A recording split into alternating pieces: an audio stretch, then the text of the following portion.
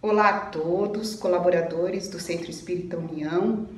Estamos novamente com vocês, dividindo as nossas palestras que temos em arquivo, palestras gravadas, que acontecem todas as segundas-feiras, às 20h30, no Centro Espírita União, nas nossas reuniões de Evangelho.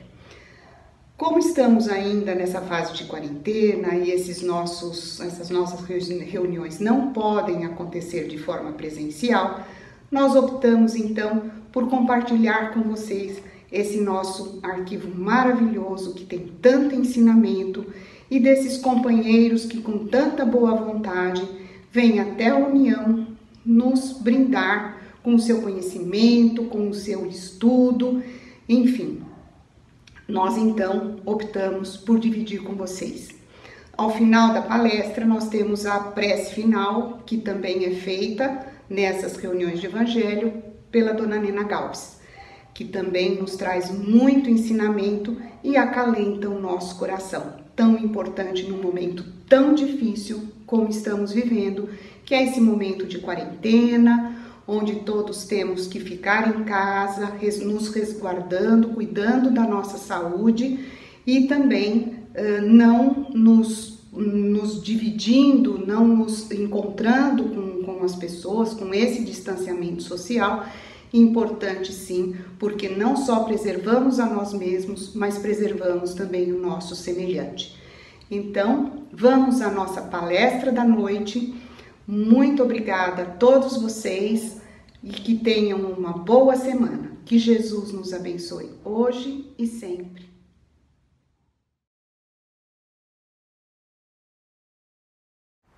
Mais uma vez eu primeiro lugar a Deus pela minha vida, a Jesus pela minha existência, pela, pelo conhecimento que já me permitiu absorver. E agradeço ao meu protetor individual, em especial aos monitores da casa, que generosamente abrem mais um espaço para que eu possa, durante alguns minutos aqui, confabular um pouco, conversar um pouco com os amigos, a gente poder trocar algumas ideias sobre eh, um tema bastante comum e conhecido por todos nós. Não é um tema de difícil acesso, porque nós aprendemos no decorrer das nossas múltiplas experiências religiosas, mesmo nessa, que prece e oração ela é de fundamental importância para que a gente possa se manter em sintonia com o nosso mundo original. Nós somos essencialmente espíritos. Essencialmente espíritos, seres que pensam, seres que geram influência através do pensamento e que recebem influências. Nós não estamos desconectados da nossa essência espiritual, do mundo espiritual, daqueles que nos antecederam ao retorno, à morte do corpo, ao retorno à pátria verdadeira. Não estamos desconectados com aqueles que agenciaram a nossa reencarnação. Não estamos desconectados com Jesus. Podemos não estar na sintonia dele por uma questão nossa ainda, de individualidade, de momentos que vivemos, ou por falta até de conhecimento, como muitos desconhecem a sintonia com as coisas do bem, não só com Jesus, mas com todos os espíritos do bem. Quando nós é, movimentamos a energia do pensamento, quando a mente se manifesta, nós expandimos para fora de nós potencialidades. Dependendo do que nós sentimos, o campo onde colocamos as nossas emoções, os nossos desejos, as nossas aspirações, é isso que movimenta para fora de nós todo o nosso potencial energético. Em primeiro momento, nós somos seres profundamente emocionais, que pensamos. E o ato de pensar faz com que a gente expanda este pensamento e gere influência no meio onde estamos inseridos e gere influência sobre as outras pessoas que porventura possam estar na mesma frequência e sintonia conosco. Quando eu disse logo no início que nós não estamos desconectados com as forças superiores, quer dizer que nós precisamos adotar mecanismos mentais de elevação do nosso pensamento, de maneira que a gente possa entrar nessa frequência desses espíritos. É preciso para isso para que eles possam fazer o bem a nós? Muitas vezes fazem o bem a nós independente até da nossa vontade, até do nosso conhecimento. Mas a questão não é o bem que chega até nós. A grande questão é em que faixa de pensamento estamos situados, de que maneira essas energias benfazejas sejam, chegam até nós e de que maneira nós assimilamos. A lei da sintonia é fundamental. Aonde estiver o nosso coração está o nosso tesouro. Aonde eu coloco o meu pensamento, é exatamente ali que eu vou ter a minha alegria ou a minha tristeza, a minha saúde ou, meu, ou a minha enfermidade. Depende muito da maneira como eu situo meu pensamento. E isso, eu tenho certeza que eu estou batendo no, no óbvio. A grande maioria de nós sabemos disso. A questão é que nós, no decorrer de um dia, por exemplo, nós perdemos muitas vezes o contato com a parte boa da nossa vida, o equilíbrio. Nós perdemos o contato com essa criatura que revelou para a gente assim: olha, eu me vou, mas sempre estarei convosco. Jesus nunca nos deixou sós, depois que ele aqui esteve, ele afiançou mais ainda com sua presença, com sua filosofia eh, religiosa, com, com seus ensinamentos espirituais, ele fundamentou para nós a importância que teria ele na nossa vida a partir dali.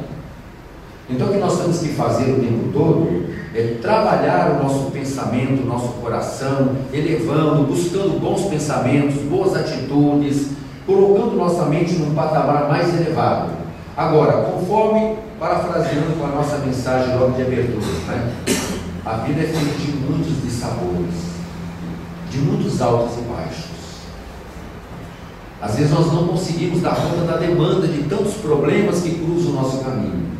Alguns deles são oriundos da nossa própria iniciativa. Nós tomamos a iniciativa de buscar determinadas mazelas para nós, a gente por teimosia, ou por negligência, por indiferença, nós vamos colocando a nossa vida, o nosso pensamento, o nosso coração em zonas perigosas da vida. E pela lei da sintonia, tudo que nós emitimos necessariamente volta para nós. Se nós permanecemos com o pensamento no ódio, o ódio será nosso parceiro. Mas se eu desejo romper com o ódio, numa atitude de elevação de pensamento, para sair daquela faixa, para não dar só ao outro a liberdade que eu acho que ele não merece, mas dar liberdade a mim próprio. Porque quando eu adoto, por exemplo, o perdão diante do ódio, eu estou mudando minha zona de pensamento, minha faixa de pensamento. E a partir daí, a situação que se passa comigo é que eu adquiro uma possibilidade a mais de desenvolver capacidade de poder superar definitivamente aquela energia sombria que está acumulada no meu coração. Às vezes ela até procede dentro do nosso estágio evolutivo, nós ainda guardamos muitas coisas. Estamos ressentidos, porque às vezes nós somos realmente vitimados por certas pessoas que fazem questão de nos levar ao sofrimento, à tristeza. Mas manter o pensamento fixo no mesmo ponto é estabelecer para nós um inferno permanente uma limitação do poder do pensamento. Mesmo que a gente ore nesse estado mental, elevando o pensamento e buscando ajuda, se nós não mudarmos a nossa zona de pensar e ficarmos só na súplica, receberemos, mas não conseguiremos acumular aquela energia conosco de maneira que ela possa ser uma fonte transformadora, de mudar de uma faixa mental para entrarmos em outra. Por isso que nós precisamos o tempo todo observar. Jesus falava assim: orai e vigiai. A oração para que nos dê suporte. Né? Eu gosto mais assim, eu gosto mais vigiar e orai. Porque a vigilância me dá lucidez sobre os acontecimentos. A partir do momento em que eu estou vigiando, eu estou atento ao que está acontecendo comigo. E a oração vem como um recurso para que eu possa me abastecer de forças, de maneira que se eu perceba que vou sucumbir, ou que eu não vou dar conta do problema, se eu não consigo romper com a situação de ódio que está agasalhada em mim, então eu preciso sair desse estado. E aí a melhor forma nós podemos sair através dos caminhos da oração. Um dos caminhos da que nós podemos fazer na oração é pedir. Eu vou projetar alguns slides aqui para a gente poder conversar um pouco mais tranquilo. Olha, a prece do latim, prex preces, quer dizer pedido, súplica, voto e desejo. Comunicação com o divino em nós, nos falava Gandhi, é uma invocação mediante o qual o homem entra pelo pensamento em comunicação com o ser a quem se dirige. Toda vez que nós desejamos entrar em sintonia com alguém, em como nos comunicarmos com alguém, apressa os caminhos. É um mecanismo de ligação direta. É um instrumento divino para que a gente possa nos ligarmos com forças superiores a fim de que a gente tenha recursos a mais ou os ideais para que a gente possa sair daquele estado, superar uma enfermidade, buscar um lenitivo para uma pessoa enferma. E por que, que eu estou trazendo isso novamente na casa, que é um assunto tão corriqueiro, tão do dia a dia? Porque nós às vezes sabemos muita coisa, mas nos esquecemos e não aplicamos. Às vezes nós nos deixamos absorver pela mesmice do nosso comportamento, da nossa faixa mental, nós insistimos em certos sentimentos e queremos às vezes os recursos da espiritualidade. O que diria se cada um de nós estivéssemos aqui só de corpo presente? Receberíamos? Sim. Misericórdia de Deus desce sobre todos. Mas assimilar a energia boa que chega até nós depende da sintonia, da faixa de pensamento que nos situamos. Se eu tiver circuito fechado na negatividade, eu posso estar no templo de oração, eu posso estar sentado recebendo a fluidoterapia, mas ela, eu não assimilo a força que estou recebendo. Ou ela é refratária no meu campo vibratório. Eu não absorvo. E não absorvendo, naturalmente, eu estive de corpo presente, mas não estava presente espiritualmente, mentalmente. Então a prece pede um determinado estado de alma, que é o que a gente vê, vai ver agora, um determinado postura mental, para que a gente possa realmente fazer uma prece com qualidade, de maneira que ela possa atingir os fins que nós desejamos, ou pelo menos os fins que Deus deseja para nós naquele momento, né? porque nem tudo que nós pedimos a Deus, Deus vai atender. Né? Vamos lá? Olha, uma primeira liçãozinha que a gente precisa aprender. Fluido cósmico universal, neles estamos mergulhados, todos os seres encarnados e desencarnados. Este fluido recebe da vontade uma impulsão. Ele é o veículo do pensamento, como o do som, com a diferença de que as vibrações do ar são circunscritas, ao passo que as do fluido universal se estendem ao infinito. É uma pincelei um trechinho do Evangelho segundo o Espiritismo. Uma coisa que talvez nem todos saibam. Existe um veículo do pensamento. Como é que uma prece chega num local tão distante? Poxa, eu estou orando para uma entidade espiritual que sei que está distante fisicamente desse local. Como é que o pensamento chega até lá? Primeira coisa, um pensamento bem direcionado viaja acima de 300 mil quilômetros por segundo, muito acima da velocidade da luz. O veículo, assim como o ar transmite o som, nos fala o mundo espiritual. O ar não transmite o som, da mesma forma, os fluidos espirituais transmitem o nosso pensamento. O mesmo fluido espiritual que nós estamos mencionando, que são as energias que estão à nossa volta, é a matéria que faz com que o produto, que faz com que o nosso pensamento se materialize. Pensamento é matéria, pensamento é força, pensamento tem peso específico, pensamento tem cor, Pensamento tem vibrações, tem ondulações, tem frequência. Assim como nós temos, por exemplo, uma antena transmissora, quando ela começa a transmitir, ela está numa determinada frequência. Todos os rádios sintonizados naquela mesma frequência recebem aquela sintonia. E aí então você consegue captar a mensagem que está sendo passada no rádio ou na emissora da TV naquele momento. Então a mesma lei da natureza funciona para além dos pensamentos. A diferença é que para nós o pensamento se locomove através do fluido cósmico universal, uma energia espiritual que está impregnada por toda parte. Nós, a mente pensa, eu desejo, eu espírito penso. A minha mente então capta o fluido cósmico universal e esse pensamento ele sai para fora de mim em forma de ondulações, mas ele sai magnetizado com a minha própria natureza, com a minha força de pensar sai com cor, sai com formato, sai com frequência, sai com ondulação e com poder. Todos que estiverem na mesma sintonia que a minha vão receber a influência desse pensamento. Isso serve para a gente já parar para pensar que nem tudo que se quer fazer de mal para os outros se pode fazer. Se eu estou numa determinada frequência de pensamentos, por mais que algum desafeto, encarnado ou desencarnado, deseje, ele vai emitir o pensamento, eu posso até recepcionar o pensamento, mas eu não absorvo. Eu não assimilo o pensamento. Eu sinto o pensamento, mas eu estou no campo vibratório, a minha energia de pensamento é elevado, de pensamento de positividade, ou estou coberto pela prece, estou dentro de um princípio de uma vida regrada, princípios éticos, eu crio uma, um campo vibratório à minha volta. A energia chega negativa de mentes mal intencionadas, mas não encontram resposta na frequência, na sintonia do meu pensamento. O inverso. Se o espírito de luz deseja, ele emite. Tem ondas poderosíssimas, chegam até nós, mas jamais será transgredido o nosso livre-arbítrio. Se eu persisto no pensamento de baixo padrão, a energia do amor chega em forma de pensamento, mas eu não absorvo. Tem hora que não precisamos romper esse mecanismo vicioso.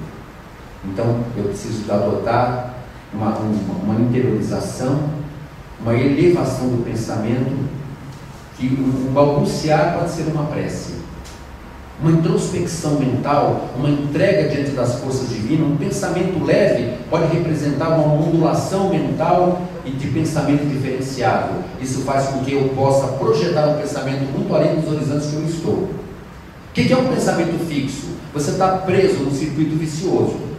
Não é? Eu, eu, odeio porque eu tenho motivo, eu odeio porque eu tenho motivo, eu não vou perdoar, eu não vou perdoar. Você cria, e essa energia que fica à sua volta, ela se materializa forma pensamentos à sua volta, energias com peso, cor específica, e te fecha no campo vibratório. Todo pensamento do bem que vier até você não te atinge. Mesmo de planos superiores, porque se obedece dentro do universo os princípios, para nós seres humanos, o princípio do livre-arbítrio. Se você estiver fechado na sua frequência, ninguém vai invadir seu espaço vibratório. Porque a lei da natureza não permite. São sintonias em frequências diferentes, portanto não há similitude, não há assimilação de forças. Então nós temos que aprender dentro do pensamento espírita também a importância que tem, porque não é simplesmente um pensamento mágico, um milagre que vai acontecer na nossa vida quando nós só balbuciamos uma prece. Seja de coração, seja uma prece decorada, tudo obedece os princípios da mente. Nós somos seres pensantes, somos seres emocionais e pensantes. Tudo que nós estivermos fechados representa para nós cativeiro e prisão. E isolamento com o restante do mundo, até dos espíritos do bem que querem nos atingir e querem nos beneficiar. Se ele estiver aberto, meu campo está aberto, eu sou uma criatura livre, tanto para emitir quanto para receber. Emito bem e recebo bem. Mesmo estando no mundo de provas e expiações, onde tem tanta negatividade, inveja, ciúmes, pessoas de má fé, pessoas que, que se antipatizam conosco de graça, a gente sente, mas não absorve. Tem um poder mental, um poder energético de autossuperação. Talvez seja isso que nós precisamos aprender. Quando a gente não consegue, tem a terapêutica fluídica do passe, para nos ajudar a gente desanuviar nosso campo vibratório, tem o poder latente do indivíduo. É como a gente fazer terapia fluídica, fazer uma assistência de passes, fechado no nosso sentimento. Nem sempre a gente consegue, nós estamos às vezes vivendo momentos difíceis, mas cada vez que nós entrarmos na instituição para recebermos algo da instituição espírita, entra da porta para dentro inspire. Deixe lá fora, faça um esforço íntimo, Muda um pouco sua faixa vibratória para que o bem reinante no ambiente, em movimento, possa chegar até você e gerar o benefício que você veio buscar para si ou para outros. É importante. Né? Vamos lá. Então, só para a gente não deixar mais dúvida. Então, existe uma energia. E essa energia é que faz com que o pensamento, além de ganhar forma, ganhar cor, ganhar grau de influência, é a mesma energia que também transmite o pensamento daqui para lá. Então não há distância. No campo do pensamento não há distância. O que há limites vibratórios para nós, segundo a graduação evolutiva. O espírito de muita luz pode chegar até nós com facilidade. E nós precisamos fazer um extremo esforço mental, de confiança, de humildade, de elevação do pensamento, de firmeza de propósito, para podermos elevar o pensamento que nós desejamos. Isso de encarnado para encarnado também. Né? Nós podemos fazer muito pelo pensamento. Vocês se recordam quando nós tivemos os primeiros, primeiros surtos do HIV? A primeira criatura que foi cuidar de doentes nos Estados Unidos foi Teresa de Calcutá. Nunca me esqueço do livro, quando eu li o livro, achei muito interessante as cenas. E, e os doentes eram muito difíceis, a doença era muito mal conhecida, então se tremia, temia demais o contágio e se achavam coisas absurdas com relação à doença. Então, se conseguiram um galpão Estados Unidos, a, a, a Madre Teresa e mais umas suas legionárias vieram da Índia, que cuidavam dos ancenianos na Índia, e assumiram esse posto de trabalho num galpão velho, numa indústria velha, e ali elas montaram leitos e cuidavam desses doentes. E os doentes, muitos deles ficavam muito revoltados, porque não existiam as terapêuticas de hoje, medicamentosas, que pudessem curar logo, dar um, um, um passo a mais de vida. Então ela decidiu adotar as orações, pedindo para que eles orassem pelos outros, que orassem também por aqueles que porventura possam também estar com enfermidade, e que entrassem em sintonia com Deus, porque Deus iria cuidar deles, iria dar um pouco de alívio para aquele sofrimento deles. E alguns não conseguiam, mas alguns encontraram grande alegria quando, mesmo sabendo que estavam sendo consumidos pela enfermidade, encontraram uma paz interior, está na narrativa do livro, porque eles decidiram orar em favor dos irmãos que estavam sofrendo também, aos possíveis doentes do. Isso ia trazendo uma paz, uma serenidade, então eles iam elevando o pensamento, elevando, saindo da sua própria dor, vivendo a dor, mas tentando se abstrair dela através da elevação espiritual, através da elevação do pensamento. E com certeza, não está narrado no livro, mas a cobertura espiritual para eles deve ter sido maravilhosa para passar por aquele último momento da enfermidade.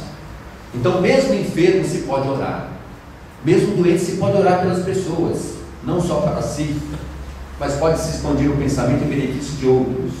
Então, a prece, além de ser um, um alimento para te tirar daquela fixação mental, para liberar a sua emoção, para fazer com que você compreenda o que você não está compreendendo, para te dar humildade diante da prova que você vai ter que passar e da expiação, para te ligar em patamares mais elevados, para te tirar um pouco dos pés da terra, te colocar num patamar mais espiritual, te elevar um pouco mais, fazer com que a vida seja mais significativa para você ou para um outro que você tanto deseja, um familiar às vezes. Isso tudo vai mudando o nosso campo mental e vai nos ajudando a vivermos com um pouco mais de aproveitamento. Porque a vida é feita de altos e baixos. Né? Vamos lá, prosseguir mais um pouquinho. Olha lá. Dirigindo, pois, o pensamento para um ser qualquer na terra ou no espaço, de encarnado para desencarnado, ou vice-versa, uma corrente fluídica se estabelece entre um e outro, transmitindo de um ao outro o pensamento como o ar transmite o som. É exatamente o que eu estava comentando até agora com vocês. É isso. Simbolicamente seria isso.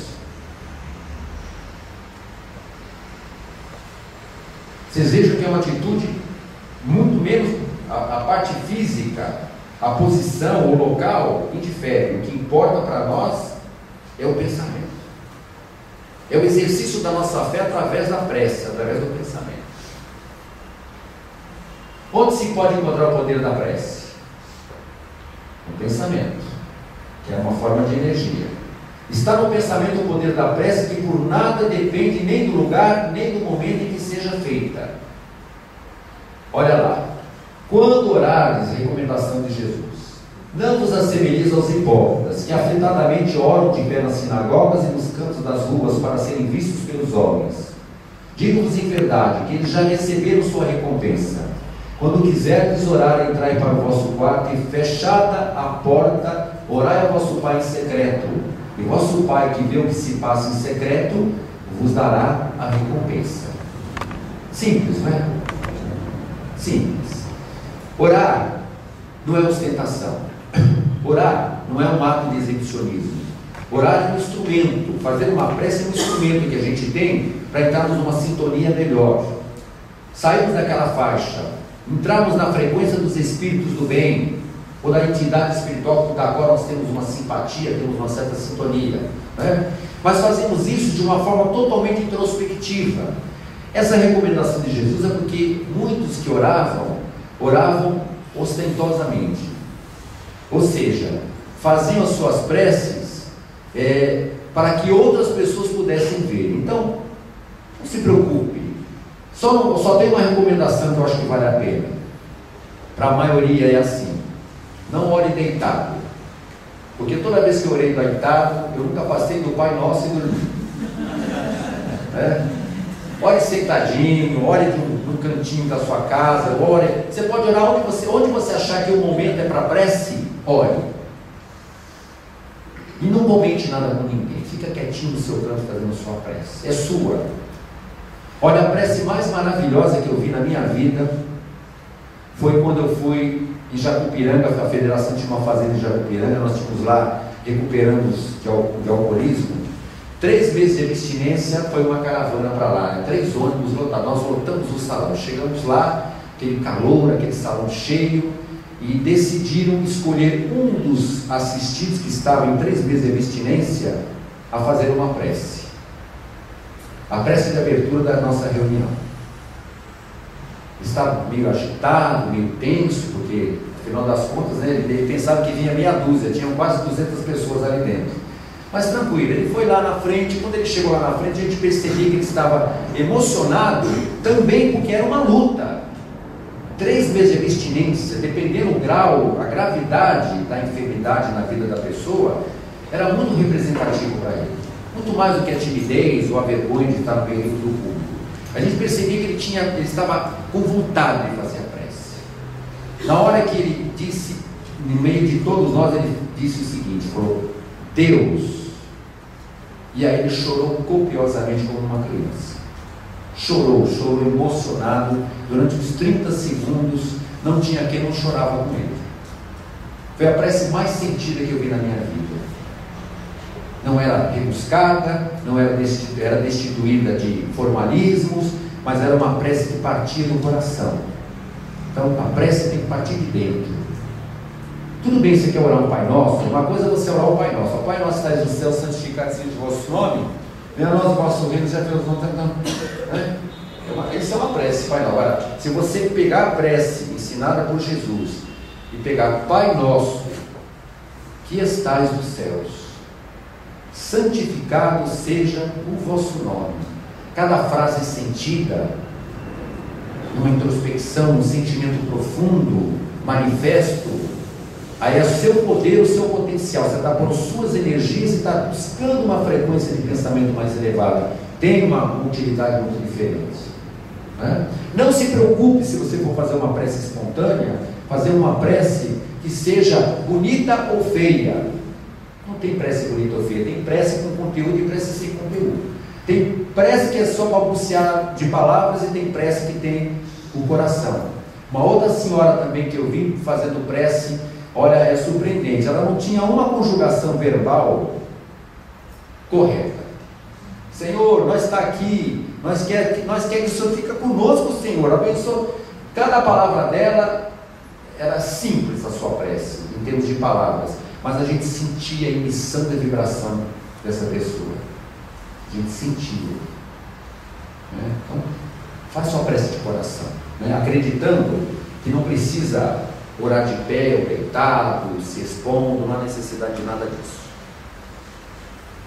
Não deixe pedir muitos nas vossas preces, como fazem os pagãos, os quais imaginam que pela multiplicidade das palavras é que serão atendidos. Não vos torneis semelhantes a eles, porque vosso Pai sabe do que é que tendes necessidades antes que peçais. Mais uma liçãozinha. É? Olha lá. Você não precisa ficar o tempo todo só pedindo. A gente vai ver que pedir na prece a gente pode louvar a Deus também. Essa é uma outra coisa importante na nossa vida. A gente tem que criar o hábito de acordar, sair da cama sobre o impulso do bom pensamento. E por que não em cima de uma prece? Senhor, agradeço mais um dia em que estou despertando na matéria. É? Agradeço todas as coisas boas que vão acontecer. Aí já aproveita e pede também, olha, por favor, hoje fulano de tal vem na minha casa, nossa relação é difícil, sustente nossos corações nessa convivência. É? Senhor, eu louvo a grandeza da Sua obra, porque quando a gente louva cada movimento, cada gesto, cada criança, quando a gente aprende ao ver mais do que violência nas pessoas, mas ver ver seres humanos em luta. Outra experiência também que eu tive, que eu aprendi também, que para mim valeu como uma prece. Todos os dias eu vi o mesmo menino no farol ameaçando pessoas, ele passava a mão na pedra, ia lá, escondia, ia no vidro e ameaçava as pessoas. Até que chegou o meu dia. Quando ele se aproximou do carro, acho que eu estava num dia de graça, né? Porque eu não tive medo, não tive ímpetos de agressividade e nem de ameaça. Eu olhei nos olhos dele, acho que alguém tocou meu coração, olhei nos olhos dele meigamente, falei, menino, como é que você está? Ele só veio soltando as pedras atrás das costas, né? E veio conversar comigo. Itaborei alguns conversinhos, eu tinha uma balinha danadinha, dei a balinha para o menino, o menino saiu todo feliz da vida. Aí eu fui embora pensando, né? O que vale uma boa atitude, o que vale um bom pensamento. Eu não ouvi como uma pessoa agressiva, eu vi uma criança, eu vi alguém em luta, alguém é, batalhando para a sua sobrevivência do modo que ele acha que pode, pode sobreviver. Mas aquele pensamento que tive, aquela atitude que tive, foi um referencial que a partir daí eu comecei a ter outras posturas do mesmo tipo. Então a prece também, ela pode acontecer em pensamentos e atitudes durante o nosso dia. Ela não precisa necessariamente ser só em atitude de joelhos dobrados, introspecção. Cada gesto positivo, cada pensamento elevado, cada gesto de amor que você irradia, cada sorriso que você dá, cada atitude positiva, você está sofrendo, está com dor, você não quer que ninguém sofra junto com você, então as pessoas se aproximam de você, você não descarrega nelas, mas você emite um sorriso, uma simpatia, uma generosidade, ouve por 10 segundos uma pessoa, dá um aviso, ajuda alguém que está precisando, esses gestos vão se somando na nossa vida, são preces em movimento. São atitudes positivas que vão se acumulando e vão criando um padrão vibratório bom para nós. E quando a gente menos percebe, a gente está mudando a nossa faixa vibratória. O melhor remédio para quem está doente de depressão, de ansiedade, transtornos, é sair um pouco de si mesmo em direção às pessoas que precisam. A gente consegue fazer isso sim, é possível. Você vai em direção às pessoas, começa a descobrir coisas em você que estavam adormecidas. Leva alegria para o outro, a alegria começa a vir em sua direção. É como se você estivesse dando amor e o céu estivesse correspondendo o gesto de amor, dando a você o alimento que estava te faltando. Mas se você ficar preso no mesmo sentimento, no mesmo pensamento, por mais amor que tenha, de encarnado ou desencarnado, não tem paciente, não tem familiar nosso que é de difícil trato, que é de difícil solução. Que a gente, por mais que a gente faça, parece que são pessoas difíceis. Né? Investe neles, ore por eles, dê, dê um apoio, fique à volta deles, não se deixe levar pela negatividade deles, muda a faixa vibratória da sua casa, dos seus pensamentos, refrigera né, o campo mental da sua casa através de gestos, pensamentos elevados, através da oração, da sintonia com os espíritos de luz, para renovar aquela atmosfera e aos poucos as coisas vão se modificando. Às vezes demanda tempo, mas o importante é você estar bem.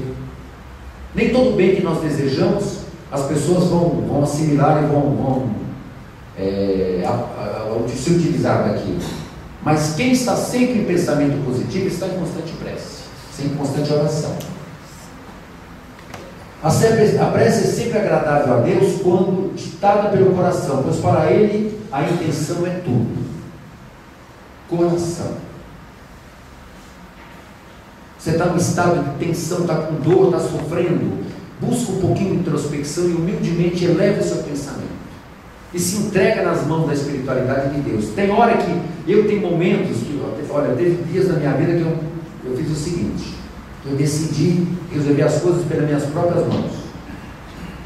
O problema era delicado. Aí eu falei: ó, Jesus dá licença que depois eu volto.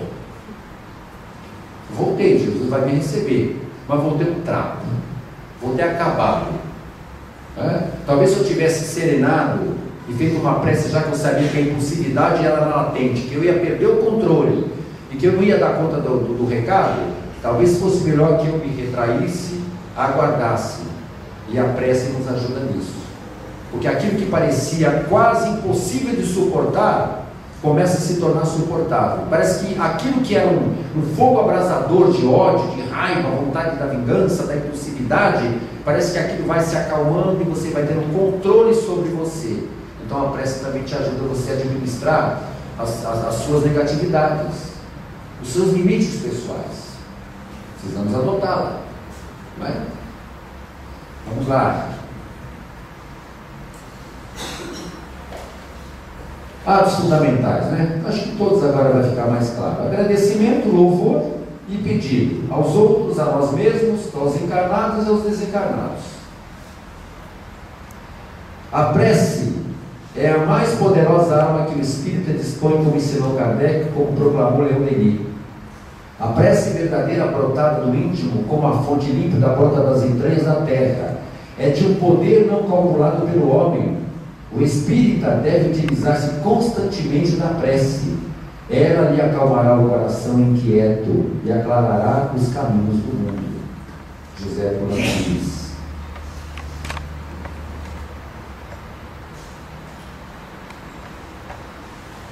Há homens que desdenham da prece, que a consideram banal e ridícula. Esses jamais oraram, ou talvez nunca é, tenham sabido orar.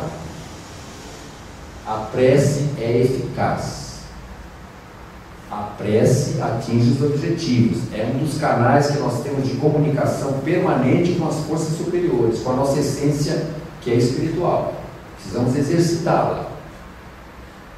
Precisamos exercitá-la. Principalmente quando a gente está perdendo o controle, ora. Tem um dito, né, um dito que diz assim: se orar, se ficar, o bicho pega, se orar, o bicho corre. Se você orar, com certeza você vai ter poder para administrar os seus problemas, né?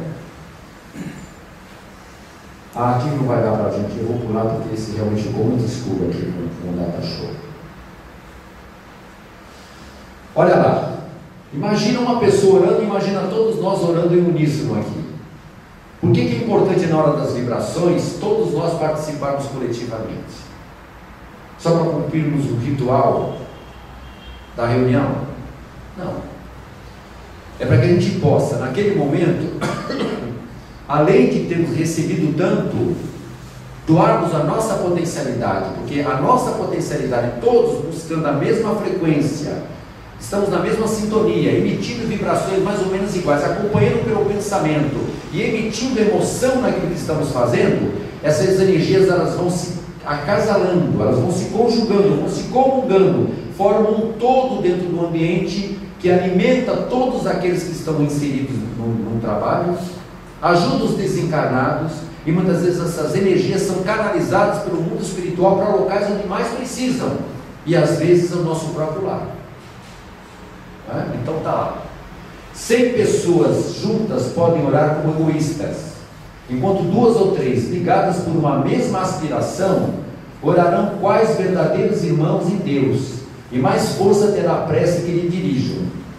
Então, temos que estar todos na mesma frequência, porque 100 pessoas orando, mas cada um orando do seu jeito desligados, cada um está na sua individualidade. Mas quando nós nos unimos, se três pessoas estiverem no mesmo foco, no mesmo objetivo, fazendo a prece de coração, digamos que seja uma prece em favor de um enfermo, orando, orando, desejando, emitindo pensamentos, pedindo súplica para a espiritualidade, emitindo fluidos, aquelas energias adquiriram um poder e chegam no foco. E atinge o objetivo. Só não vai atingir com aproveitamento 100% se o enfermo estiver numa frequência distanciada daquilo. Podemos fazer uma prece na casa espírita ou fazer uma assistência para alguém, uma pessoa na família, à distância? Podemos. Os espíritos movimentam-se canaliza um pensamento até lá, nosso pensamento ajuda. É óbvio que o ideal seria se o assistido estivesse presente, que aí a, a escolha dele, né? Quando a escolha da pessoa, a, a mente dele está sintonizada. Mas recebe benefício? Recebe. E depois é assim: água mole em pedra dura, tanto bate até que fura. Você vai martelando, martelando, martelando, martelando. Eu posso dizer isso a vocês, né? Tem uma pessoa que, olha, foi anos para conseguir convencê-lo a deixar a, a droga de sal. Foram anos. Anos. Muitos já tinham desistido, até eu já tinha desistido de tentar ajudá-lo, porque ele não queria. Se ele se comprazia. Até quando ele começou a perceber todas as perdas, que ele viu que ele não era o poder que ele imaginava, então ele decidiu mudar a vida dele.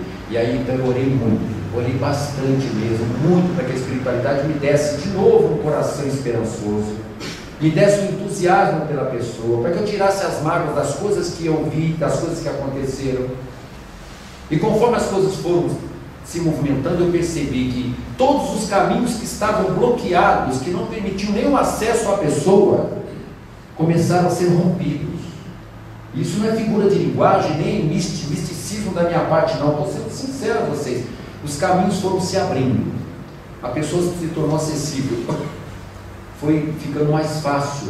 A, a internação aconteceu distante, de difícil solução, um, um local de muito é, difícil de se conseguir internação com uma pessoa. As coisas foram se ajeitando, os obstáculos foram sendo vencidos um após outro, e a pessoa está lá agora há dois meses, vai fazer três meses que está lá, é uma outra pessoa, uma outra criatura. Isso me dá uma satisfação enorme dizer isso a vocês, porque é, foram muitas mentes trabalhando positivamente, muita oração que foi feita, muita ajuda espiritual. Sozinho, jamais a gente conseguiria fazer isso, mas através da, da prece e de um destino maravilhoso que todos nós temos, que é a luz, não há filho que não saia da sombra. Não há filho que não saia da sombra. Já comentei aqui uma senhora que eu ia visitar uma pessoa no presídio. E essa pessoa estava lá e aquela multidão, famílias reunidas, era um domingo, e eu vi uma mãezinha pequenininha, miudinha, mas com um bairro do marmanjo forte no colo. Ela beijava ele, acariciava, passava a mão nele, e eu fiquei entusiasmado com a ideia. Falei, nossa, mas que amor dessa mãe, né? Que, será que ele está fazendo aqui no pavilhão 5? Aí chamei a pessoa que eu conhecia e apontei o dedo meio escondido e falei assim, aquele cara ali que, tá com, que a mãe está com ele no colo. Ele todo estava na minha mão, você é louco, cara, aqui não se aponta dedo. Se aponta dedo aqui, você está perdido. Eu, ele é o chefe do pavilhão 5. Já deduzi né, que crime, ele devia ter uma fileira. Mas eu uso o exemplo da mãe. Essa mãe acreditava. O amor dela jamais vai escurecer. Se essa mãe desencarnar, e esse filho desencarnar, a mãe ficar num plano espiritual melhorzinho, e ela souber que o filho está numa zona trevosa e sombria, e que a reencarnação futura dele vai ser em corpo deficiente, com limitações, e se alguém dissesse na espiritualidade para ela, ele vai ter que reencarnar, mas não temos uma mãe para ele. Você aceita ser mãe dele? Pelo que eu vi, o amor que ela estava dando ali, ela com certeza aceitaria, mesmo tendo uma vida de dificuldades, um cativeiro, limitada, presa, o amor dela, ela acreditava, e o amor, o pensamento e as suas preces, com certeza, porque ela devia ser uma mulher que orava muito, né, uma senhora evangélica, com certeza ela acreditava que o amor de Deus haverá de cobrir a multidão dos pecados, e que o amor dela e as preces dela vão atingir os fins, mesmo que seja lá na frente, mas um dia vai atingir a meta que você deseja. Nós não estamos divorciados de Deus. Olha a palavra de Jesus: Eu estarei convosco sempre. Sempre.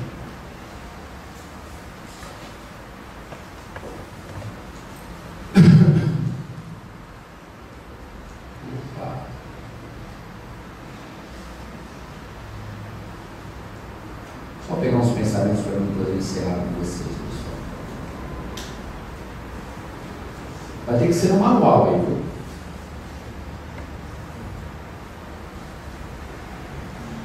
Opa, agora foi. Pronto.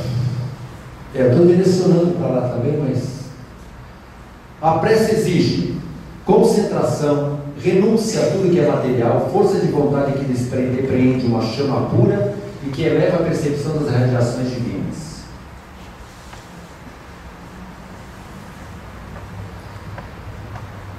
Eu não imaginava que ia ficar tão escuro assim, as, as, as imagens, não adianta a gente insistir com imagens que não vão. Uma outra coisinha importante, né? Nem tudo que a gente orar, nós vamos obter da maneira como nós desejamos. A prece, Jesus falava assim: e tudo que pedis oração, crendo o recebereis. Se ele disse, se ele afiançou, é fato. A questão é saber o que nós pedimos e se nós queremos receber no nosso tempo ou no tempo de Deus. Essas coisas são importantes. O tempo de Deus não é o nosso tempo. O tempo de Deus pode ser mais curto que o nosso, mas o tempo de Deus pode ser mais adiante. Se Deus não nos dá agora, e a gente mesmo orando não está recebendo, o que nós devemos fazer? Persistir na prece. Porque mesmo que não venha a solução do problema que nós estamos buscando, nós estamos nos alimentando de pensamentos elevados. Estamos mantendo uma sintonia mais, mais de padrão melhor. Nós estamos recebendo da espiritualidade o material que nós precisamos para passarmos por aquela experiência. Aí entra esse pensamento aqui, para a gente poder encerrar. Não obstante a confiança expressa na oração e a fé tributada à providência superior, é preciso colocar acima deles a certeza de que os desejos celestiais são mais sábios e misericordiosos que o capricho próprio. É necessário que cada um se una ao Pai comungando com a sua vontade generosa e justa ainda que seja contrariado. Deus tem algo muito melhor para nós do que os nossos olhos imediatistas possam ver. Ah, mas assim fica fácil a gente. como é que a gente pode ter certeza disso? Vejam as histórias de vida de todas as criaturas. Os que já testemunham, que aguardam no tempo de Deus as respostas.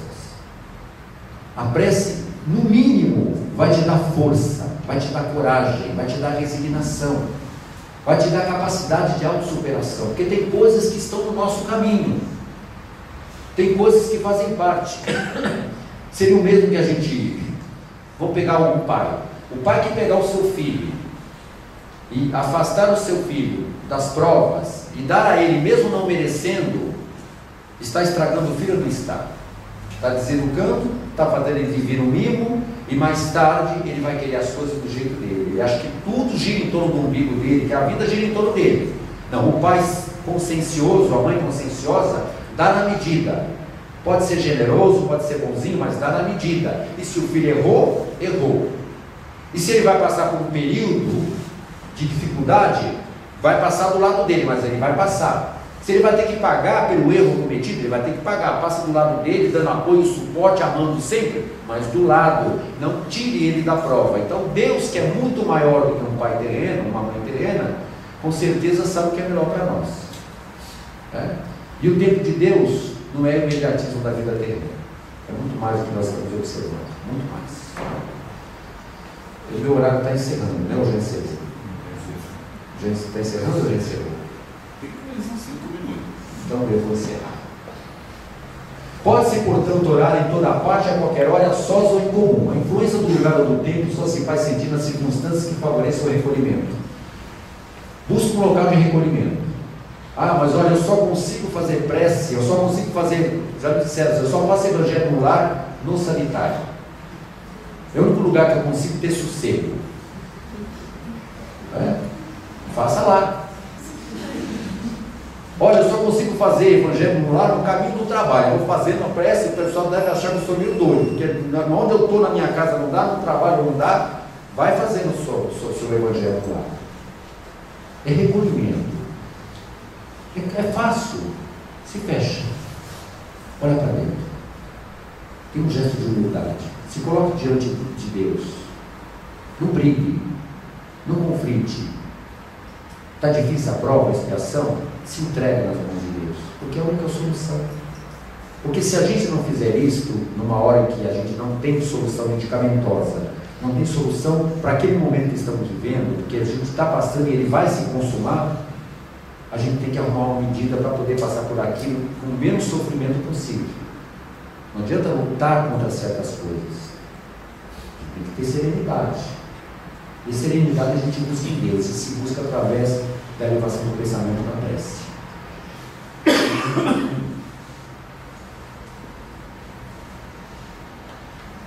Só quero colocar uma última coisinha aqui para nós. É uma prece pronta, mas maravilhosa, só para dar uma, uma renovada na gente para fechar nossa reunião e preparar a gente para o que vem a seguir ou passa, tá bom? Deus nosso Pai, que sois todo poder e bondade, Dai a força àquele que passa pela provação, dai a luz àquele que procura a verdade. Ponde no coração do homem a compaixão e a caridade. Deus, dai ao viajor a estrela guia, ao aflito a consolação, ao doente o repouso. Pai, dai ao culpado o arrependimento, ao espírito a verdade, à criança o guia e ao órfão o pai. Senhor, que a vossa bondade se estenda sobre tudo que criastes. Piedade, Senhor, para aqueles que não vos conhecem. Esperança para aqueles que sofrem. Que a vossa bondade permita aos Espíritos Consoladores derramarem por toda parte a paz, a esperança e a fé. Deus, um raio, uma faísca do vosso amor pode abrasar a terra. Deixai-nos beber nas fontes dessa bondade fecunda e infinita, e todas as lágrimas secarão, todas as dores se acalmarão. Um só coração, um só pensamento subirá até vós como um grito de reconhecimento de amor. Como Moisés sobre a montanha, nós nos esperamos com os braços abertos. Ó poder, ó bondade, ó beleza, ó perfeição. E queremos de alguma sorte merecer a vossa divina misericórdia. Deus, Dai-nos a força para ajudar o progresso a fim de subirmos até vós. Dai-nos a caridade pura, dai-nos a fé e a razão, dai-nos a simplicidade, que fará de nossas almas o espelho onde se refletirá a vossa santa e misericórdia imagem. Prece de Caritas. O Chico, quando estava aflito, Dona Helena deve saber disso. O senhor também, provavelmente. Ele sempre tinha uma musiquinha que ele cantava, né? Eu vivo contente, feliz a cantar, despreocupado é o meu caminhar. Não tenho problemas, não tenho aflição, pois tenho Jesus no meu coração. A paz, a paz esteja comigo, a paz, a paz esteja contigo. Muita paz.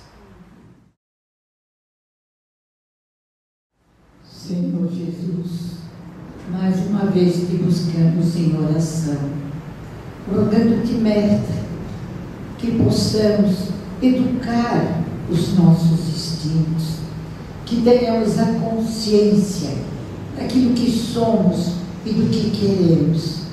Mestre Jesus, dai-nos a lucidez para que nos momentos de alegria não possamos desprezar que aquele que está ao nosso lado talvez não tenha tantos motivos para alegrar-se com as nossas alegrias.